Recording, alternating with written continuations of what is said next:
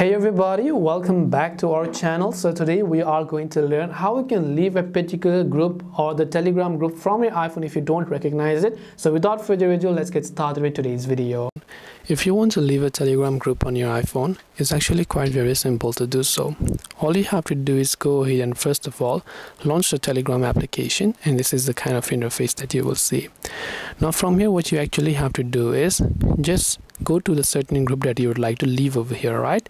So let's say there's a certain group that maybe you want to leave over here and what you actually have to do from here is if you want to leave this certain group just tap on the group name from the top and here you'll find the leave button now you can also tap on more option but you can tap on this leave option right here and then tap on the leave button to leave the group for that particular group on telegram this way you'll be able to leave telegram group I hope this video was very helpful. If you have got any questions, feel free to leave them down in the comment section below. Thank you for watching till the very end of this tutorial. And as always, see you soon in our next video.